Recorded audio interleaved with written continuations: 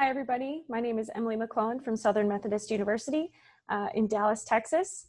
And my talk is titled Any Olympic Jump That Women Can Do, Men Can Do Nearly 20% Better. So, to start, it's obvious that in order to ensure fair competition in sport, men and women must compete in different categories. But how large the differences in performance are uh, between men and women and the scientific basis for these differences are not completely understood. These differences in performance are most quantifiable in track and field events, but are definitely observable in other in many other sporting events such as basketball and volleyball pictured here. One noteworthy investigation of these differences in performance was done by Whipp and Ward in Nature in 1992. Based on improvement in world record performances, they extrapolated a possible convergence of these performances, um, as you can see in this figure here. Historical time is noted on the x-axis, while mean racing velocity is noted on the y. The A panel shows the men's performances, the B panel shows the women. In the C panel, you can see their extrapolation and speculation of a possible convergence in the future based on that dashed line uh, and where they connect out in the future. But as women, uh, as women started participating in sport in a more consistent basis and past 1992, um, the possible convergence of performance was never observed, as you can see in this um, paper by Cheuvront et al. in 2005. Um, these authors collected data from 1932 up to 2004, and you can see here three different events with men listed as triangles and women as circles. Historical time is again on the X, and mean running velocity is on the Y. These authors also extrapolated or predicted a performance out at, um, at 2028. And this gap in performance seems very consistent um, as they predicted out into the future, which gives us confidence in an intrinsic difference between men and women performing these events. Extensive investigations have been done on the male and female, male versus female performance difference in running events, but there's been little investigation on the between sex difference of jumping. Therefore, our question was, what about jumping? Are the differences similar or are they larger than the running difference? Jumping events require a rapid acceleration of mass. The tissue responsible for that rapid acceleration is skeletal muscle.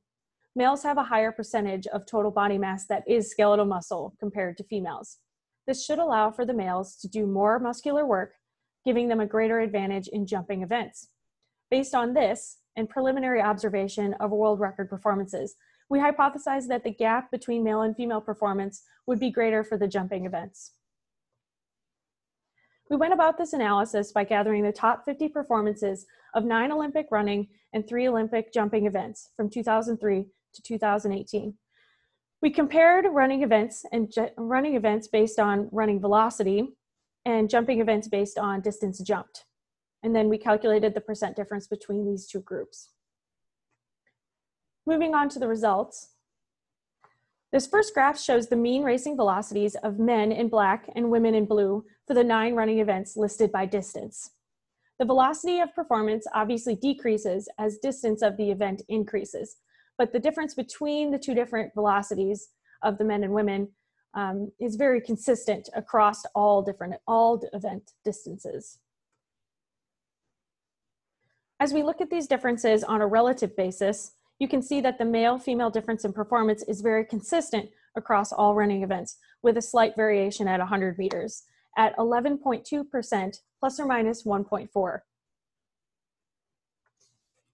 After comparing the performances for running events, we then moved on to the jumps. Here we can see the average performance differences or the average distance, the average performances for each jumping event.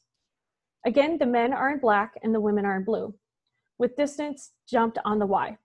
On average, the men jumped 0.3 meters higher in the high jump, 2.8 meters higher in the triple jump, and, two, and 1.4 meters further in the long jump.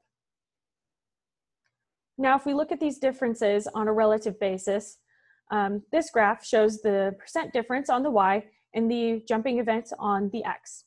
Men outperformed women by 20.8% in the high jump, 15.7% in the triple jump, and 16.9% in the long jump.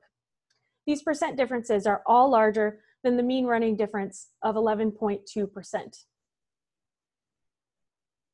So as we compared the male-female performance difference of running versus the jumping events, it was observed that the men outperformed women by 17.8% on average in the jumping events, which was 1.5% greater than the average difference in all running events at 11.2%.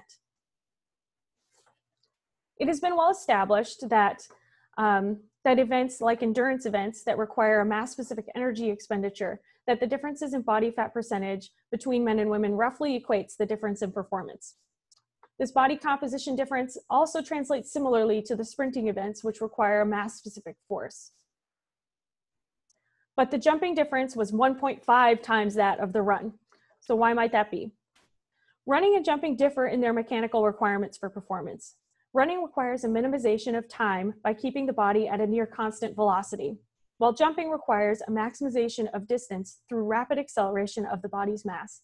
As we hypothesized, events that require an abrupt acceleration of the body's mass should offer males with a larger percentage of body mass that consists of skeletal muscle an advantage greater than the advantage observed in running. So it is concluded from this study that the increased male-female difference in performance for jumping must be a result of the combination of the mechanical requirements of maximizing distance through the acceleration of the body's mass and the greater proportion of total body mass that is skeletal muscle for males compared to females. Thus, men jump nearly 20% better than women. Thank you very much for listening to my talk. Again, my name is Emily McClelland from Southern Methodist University.